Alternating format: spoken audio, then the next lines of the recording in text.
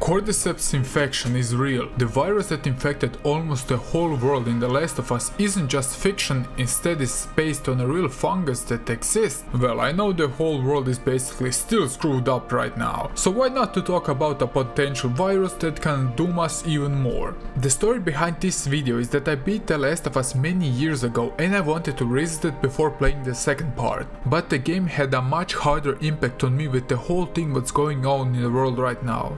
How did a transmitted disease get from a bat to a human?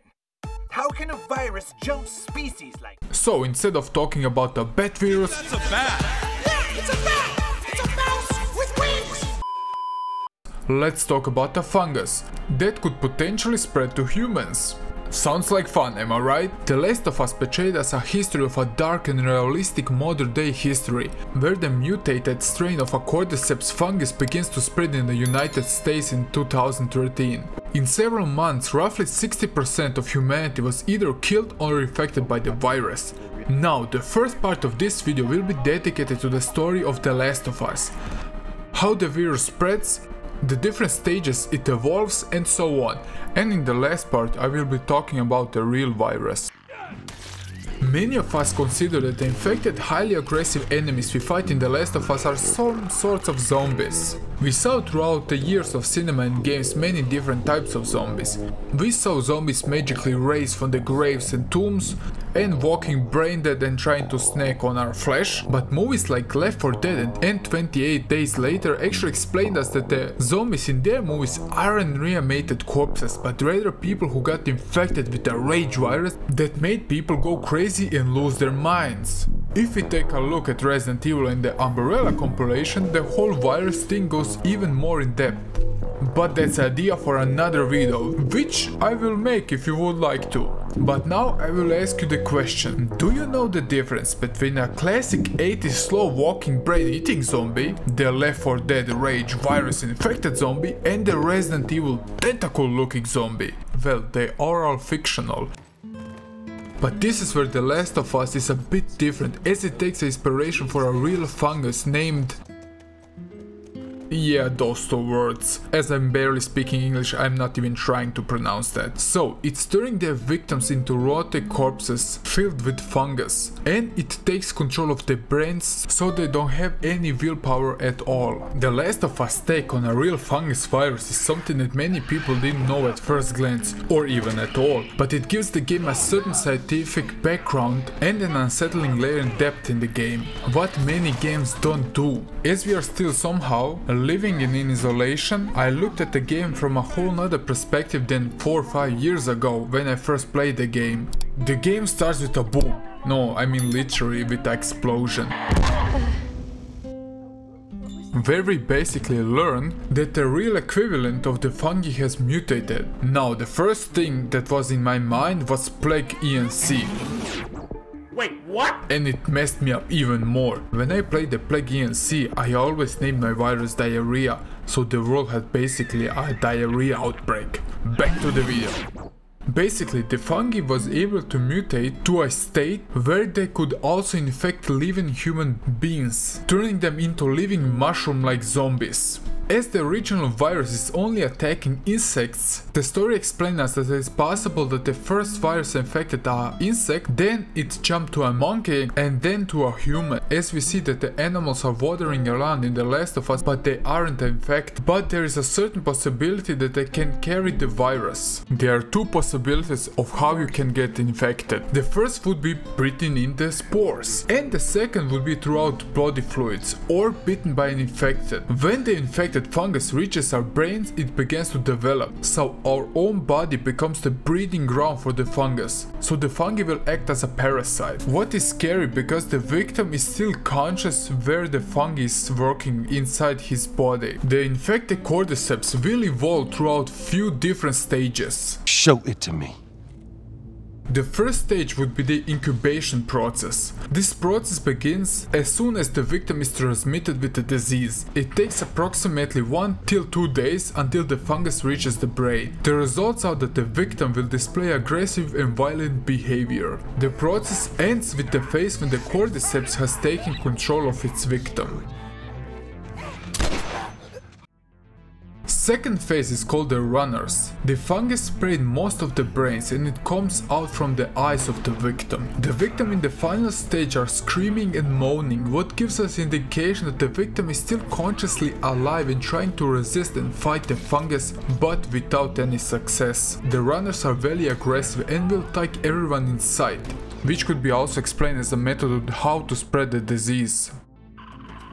Now we come to the third stage, where the victims evolves into a stalker. In this stage the fungus had plenty of time to spread throughout the body.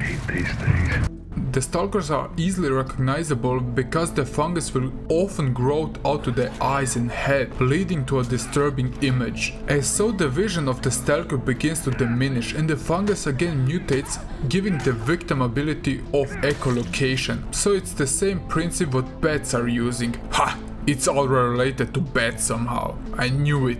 It's a mouse with wings. So what echolocation does is to use sound to see the world around. So the victim uses special noises to know how to locate the victims, but it still has somewhat of a eyesight. As many years roll by, the stalker evolves into a clicker. It is a very high stage in the process when the fungus overtakes almost the whole head of the victim and some body parts are protected with a fungus layer, acting as a shield. The clicker is completely blind and it only relies on echolocations and the sound what the stalker made are involved into precise clicking sounds. What helps the clicker to find his prey? Now the fungi has overtaken full control of the body and the brain, and the victim doesn't resist the orders of the fungus anymore. As we reach 10 years, we come to the last stage of the evolution we will talk about today in this video, as it's based on only on my playthrough on the first game. Now, if you wanna see a video like this for The Last of Us 2, please comment down below, or I can make a standard RPG review video. Now, the last stage is called Bloater. Now, this is the rarest stage in the victim's evolution, and it's not common that the victim evolves to this stage. Bloater has many layers of thick fungus acting like a shield and protection to his inner parts. They're also carrying bombs with fungus which he can throw to easily infect and spread the fungus.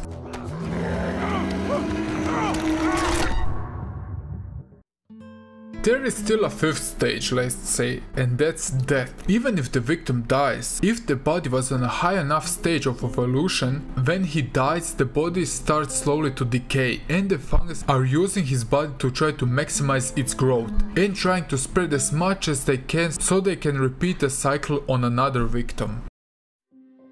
At the beginning of the video I talked about the real fungus what really exists. It can attack various bugs. Now the huge difference between the Last of Us fungi and the real equivalent of that virus, the real fungi wants to feed off its victim and not to use the victim to eat and infect others. The fungus called, yeah this neat word on the screen, can attack ant species called Camponotus leonard. I hope I pronounced that right. Now, when the ants get attacked by the fungi, it can basically enter the bloodstream and it travels to its brain, where he can rewire the brain to be under the control of the fungi. But what is really unique is that the researcher David Hughes found out that this type of a virus can create a second nervous system around the nervous system from the ant and hijack it, so the fungi can use the body for his purposes. Also, this version of fungus can transmit throughout itself nutrition and information, but it doesn't touch the brain, so the brain is fully functioning.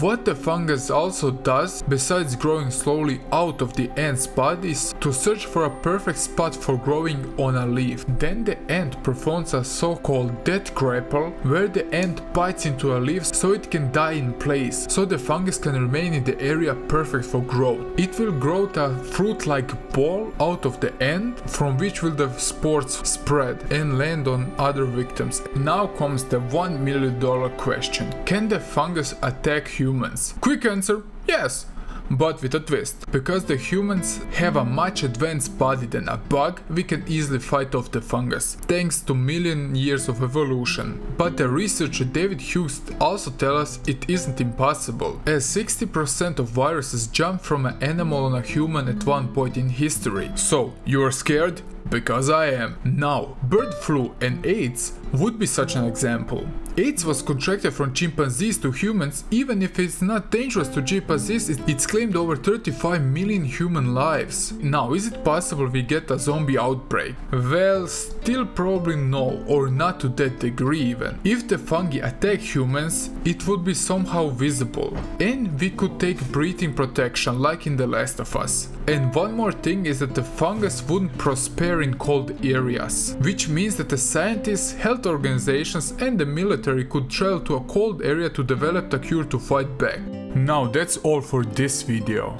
I didn't want to jump too deep in the pure lore of The Last of Us, but I hope you enjoy it. This was really a weird and obscure video, don't you think? It was really interesting talking about such a things like viruses in a game. If you want a second video where I dive only in the lore of The Last of Us 1, please comment down below and of course in the lore of The Last of Us 2. Now please remember to check out my Patreon, destroy the like button, share the video, subscribe if you're new and that's all from me now and I see you in the next one. Snorky over and out.